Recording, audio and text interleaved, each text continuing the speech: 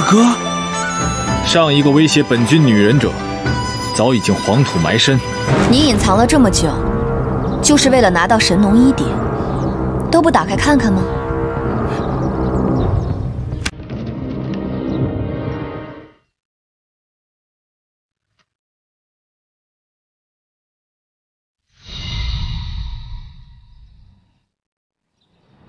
好一招引君入瓮！若非如此，怎能把你这个门主引出来呢？嗯，青洛，原谅我的隐瞒。身为一个父亲，我必须这么做。我本想让浩然劝你放弃，毕竟楠楠已经失去了父亲。别伤心了，不能再没有了娘亲。但我了解你，知道你的性格。别伤心了。无论付出多大代价，都会为了我去争取神农一典。青洛，你记住，要拿到神农一典下册，你的敌人不是清河，而是这个隐藏在暗处的修罗门门主。莫贤、小寒，陪我去一趟亲王府。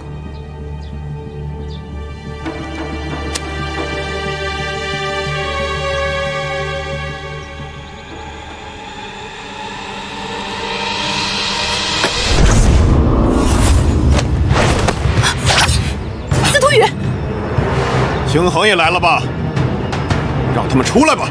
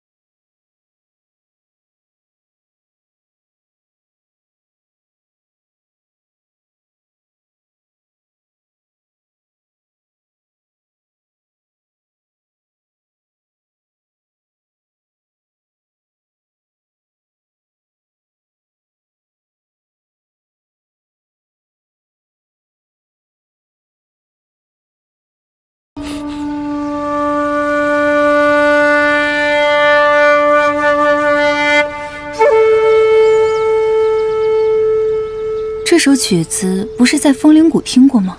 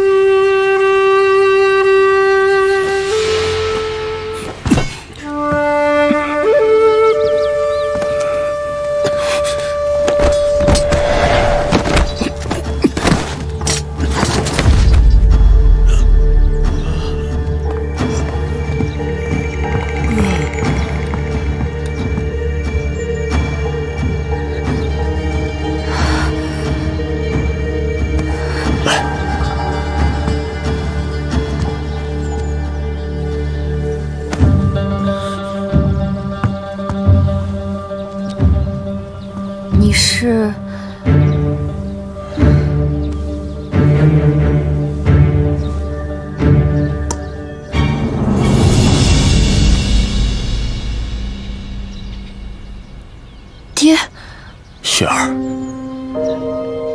你莫怪为父。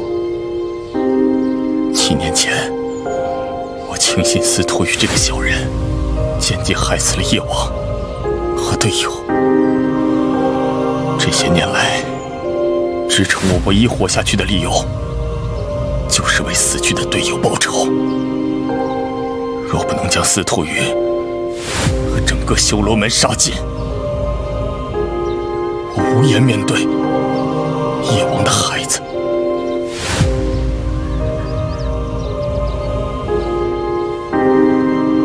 我们先救其他人吧。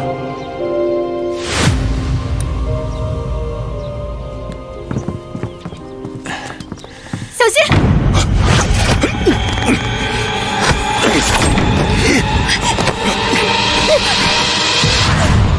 雪儿这不可能！你怎能不受软骨散的影响？自从我担起为孟山族复仇的重任起，我便日日与天下的草药为伍。为了试药，我无数次徘徊在生死边缘，终于让我制成了玉毒丹。我早就已百毒不侵。司徒云，你卧薪尝胆七年，最终还不是任我宰割？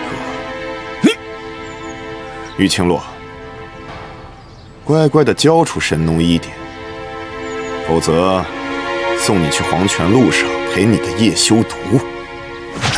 好，杀了我吧！雪儿，神农一点我是绝对不会给你的。那就如你所愿。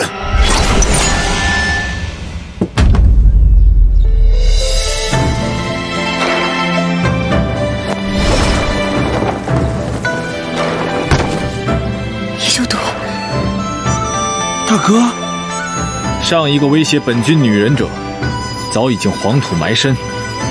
你司徒羽也不会是个例外。你明明已经中了段雨红，为何？自然是老夫的功劳。放开他！笑话！别以为我没看出来，韩萧只是暂时压制住你体内的段雨红，你根本就没有痊愈。以你现在的身体状况，根本就发挥不出平日的实力。玉清若又在我的手上，你能奈我何？叶修毒，段雨虹正是一切毒体的克星，别担心我，我会保护好自己的。青洛，我用它教你一套防身剑法。若是我以后不在你身边，你要懂得自己保护好自己。那现在不是由你保护着我呢吗？万一你以后被人制住了呢？技多不压身嘛。